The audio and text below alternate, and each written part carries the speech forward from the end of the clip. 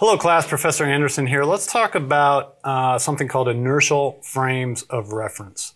When we had talked about uh, moving from a stationary frame to a moving frame and observing some behavior, we always talked about inertial frames of reference. But what does that really mean? What does inertial mean?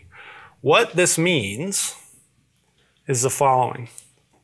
An inertial frame is one that has constant velocity. Your inertial frame has to have constant velocity. If there is constant velocity, that of course means acceleration A is equal to zero in that frame. Okay, whatever frame you are in, you cannot have any acceleration. So let's, let's imagine the following scenario. Let's say you are standing in an elevator and you're standing on a scale okay, and you have a weight of 100 newtons.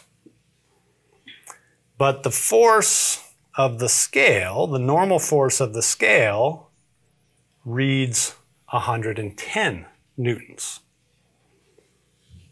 Are you in an inertial frame? Mai, you had asked this question. What do you think? If my weight is 100 newtons, but the scale is reading 110 newtons, am I in an inertial frame? I would say no because if the weight is if, if the scale is different from the weight, you, it means you are accelerating. Okay. And an inertial frame acceleration is zero. Good. So you are not in an inertial frame. Exactly what Mai said because you are accelerating. Let's just double check and make sure that works. We know that the sum of the forces in the y direction is equal to the mass times the acceleration in the y direction. The only forces here acting on this person are, of course, mg down, the normal force from the scale going up. So, sum of the forces becomes n for the scale minus mg that's equal to the mass times the acceleration. And now we have numbers. 110 newtons minus 100 newtons is equal to the mass times the acceleration. That is, of course, 10. And so we get a positive number for A. It's certainly not equal to zero. And that means that no, we are not in an inertial frame. If this was an inertial frame, Mai, what would the scale reading have to be? It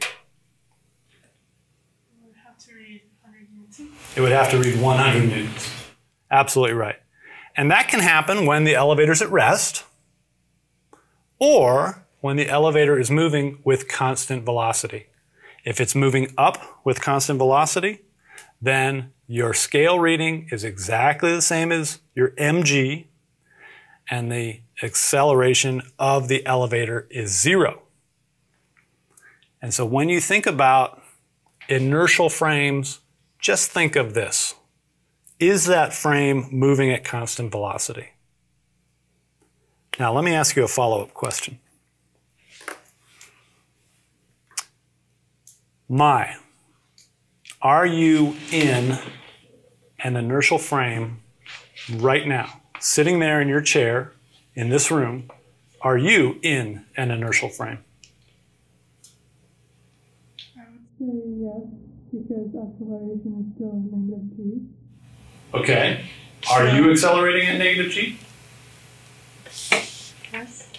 You don't look like you're accelerating at negative g. It's still Pulling you down. Okay. The- Something's pulling you down. Is it the weight of school?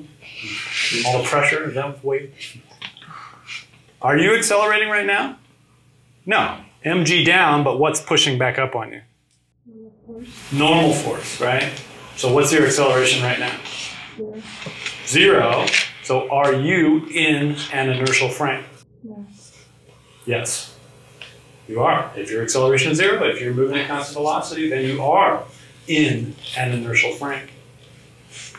Now, that's in fact only an approximation.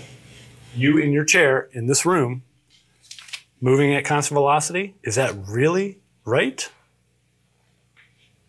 Are we really moving at constant velocity? Is our acceleration equal to zero? Um, it depends like what you're considering like relative to what um Okay. exactly. So in terms of like being on the earth and spinning or rotating, than we are are not in an initial phase. Okay. Exactly right. We're sitting on the earth. The earth is spinning. We are moving in a circle right now. If you are moving in a circle, you are accelerating. You have centripetal acceleration, which means that you are in a non inertial frame. Now, that acceleration is very small compared to g. And so, to a good approximation, we can say we are inertial. We are in an inertial frame. But technically speaking, it's really a non inertial frame because we're moving in a circle. All right. Good. Any questions about this stuff? You guys feeling okay about it? All right. If that's not clear, come see me in office hours. Cheers.